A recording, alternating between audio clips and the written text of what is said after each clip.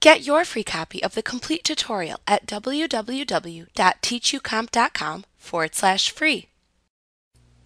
With subreports, you can view the data from one main report with related data from a separate but related report as an embedded subreport within the original. This allows you to view related information from two reports at once. It can also make the relationship between data in two related reports seem more clear. Subreports are often used to show summary data from one main report with detailed data from a related subreport. When you create subreports, you may want to begin by creating two separate reports first.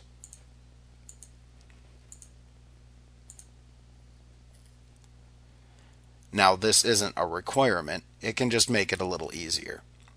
You can create a subreport within a report for almost any database object that you have already created, including tables, forms, and queries.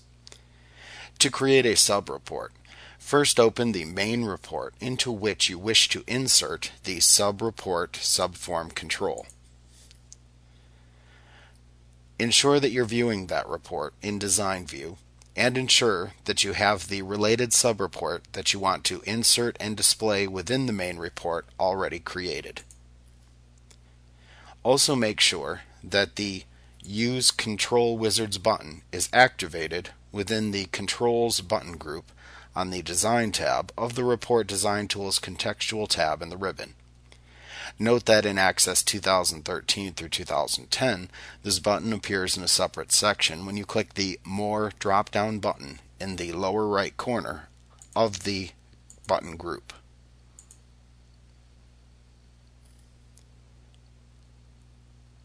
Now next, click the Subform Subreport button that appears in the Controls button group on the Design tab of the Report Design Tools contextual tab within the ribbon.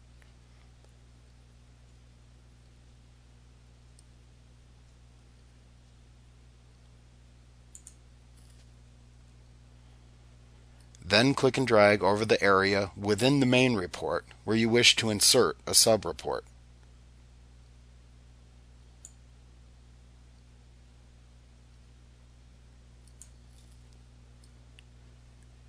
Access will then automatically launch the subreport wizard to assist you in placing and connecting your two reports.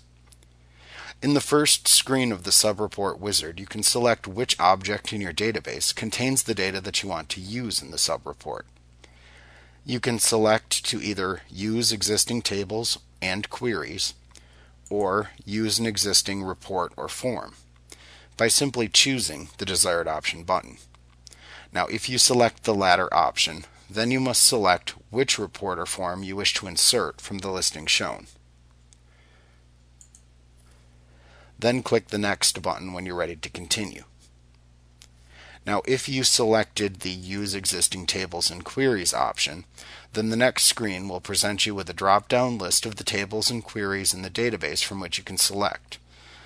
For whichever table or query you select, you can then choose which fields to display within the report by clicking on their names in the Available Fields list and then clicking the right pointing arrow button to move them into the Selected Fields list and then click Next to continue.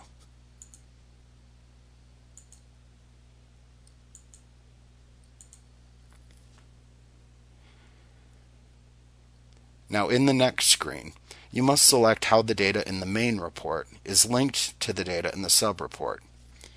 If you select the Choose from a List option button, then you must select one of the listed possible ways from the list box shown below the option button. When you select one of the ways that you could link the data in the reports together from the list, you will see text describing the relationship below the list. This is helpful in viewing the relationship when the description of the relationship selected in the list extends beyond the edge of the list box. Once you've selected the desired relationship, click the Next button to continue. Note that the other option that you have is the option to Define My Own, which changes the section below it to show two columns of drop-down menus, Form Report fields and Subform Report fields. You can then use the drop downs to select which field in the main report is correlated to which other field in the subreport. You may connect multiple fields if necessary. The text description of the link that you are manually creating will appear below the drop-down menus.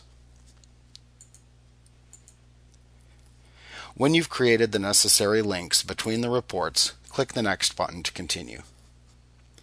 In the last screen, you can type a label for your subreport if needed.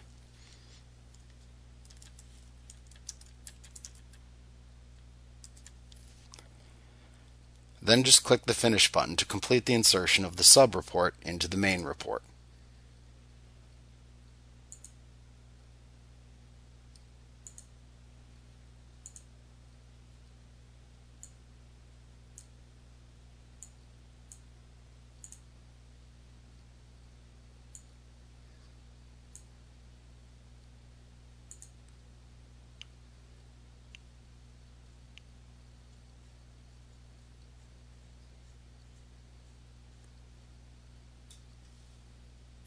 Like what you see? Pick up your free copy of the complete tutorial at www.teachucomp.com forward slash free.